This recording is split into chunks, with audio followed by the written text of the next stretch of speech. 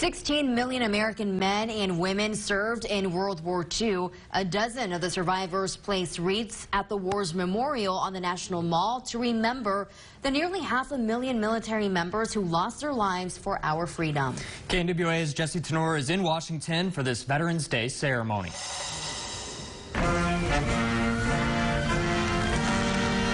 War II veterans stood tall and proud of their service to our country, wiping away tears as hundreds gathered at the war's National Memorial to thank them.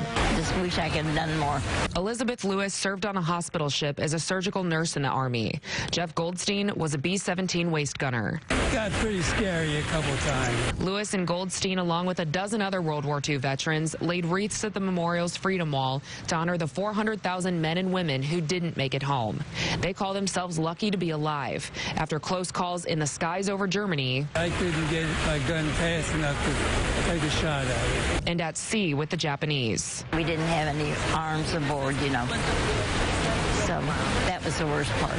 These veterans are inspiring younger generations to not only thank them this Veterans Day, but also to continue to protect the freedom they fought for.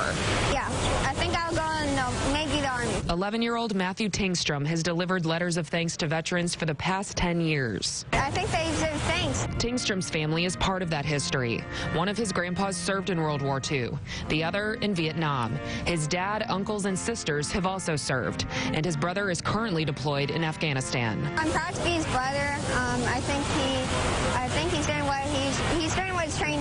And these veterans were proud to hand off their legacy to future servicemen and women like Tingstrom with a little advice. Stick with it. In Washington, Jessi Turnure, KNWA Northwest Arkansas News.